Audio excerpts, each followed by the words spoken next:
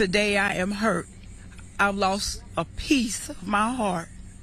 When I tell you my child was my everything, a pain no parent should have to endure. Elfrida Lewis is now grieving the unexpected loss of her 18 year old son, Bryce. We called him Mr. Wonderful. He was a good kid. St. Pete police say Bryce and a 14 year old girl were killed in a crash early Saturday morning. They were passengers in an SUV driven by a 17 year old. Police say the teen drove off the road and hit a power pole on 11th Avenue South in St. Pete. Lives were taken here. And that young lady, I'm sure she's going to live with this the rest of her life, okay?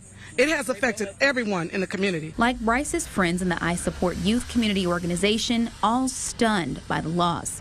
His mentor said Bryce was part of the group for years and enjoyed college visits the most.